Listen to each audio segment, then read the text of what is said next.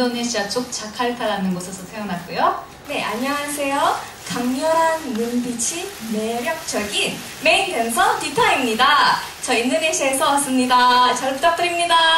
네, 강렬한 눈빛에서 프레시가 엄청 음, More when a stranger, I'm not a danger. 이런들 어쩌니? I don't even care, I'll be the good girl, baby, it's that easy. 네, 이름춤입니다. The only girl who it is, who it is. 약속보다 샴푸 향기 뭔가 다른 걸 who it is, who. 즐겁습니다. 네, 무대 뒤에서 보니까 우리 오늘 몇 시부터 연예인 되는 거냐고 귀엽게 물어보더라고요. 어, 지금부터니까요, 예쁘게, 어, 이제 사진 얼마나 예쁘게 담길 수 있을지 멋진 표정 보여주시고요. 우리 방금 인도네시아가 들썩거린다고 하죠. 인도네시아에서 온 멤버 디타인데요. 어렸을 때부터 투애니원을 보면서 꿈을 키웠다고 해요. 연습을 멈추지 않는 공식 열정넌데요. 가운데 바라보겠습니다. 아주 강렬한 눈빛을 가지고 있는데 제가 보니까 굉장히 어, 눈빛이 강렬하면서도 선한 느낌이 있는 것 같아요.